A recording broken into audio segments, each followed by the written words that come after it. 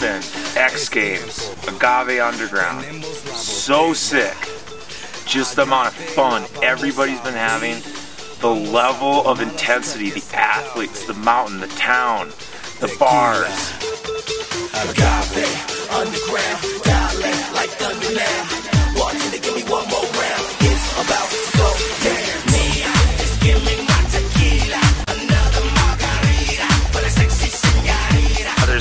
absolutely nothing better than a good Agave Underground party. The guys just know how to throw a party. And it's easy. You've got Añejo, Silver, Reposado, all three bases totally covered. But that's just the thing. When we're at the X Games, anything goes. The people, the nightlife, the food, the energy. It is such an amazing time. I'm here right now and I'm already planning my next trip back.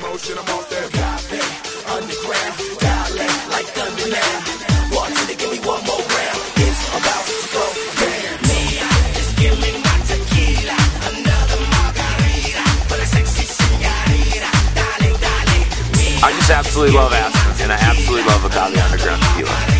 It is such a freaking blast to be here. The stuff we do, just can't, I can't even get around it. Like, these are the memories that'll last me a lifetime. My you smell nothing but fuck. Straight to the ball, one shot of tequila, two shots of tequila, three shots of tequila, four shots of tequila. Body out like a fever, now I'm turned up. Turn on wine, VIP lounge, no standing in line.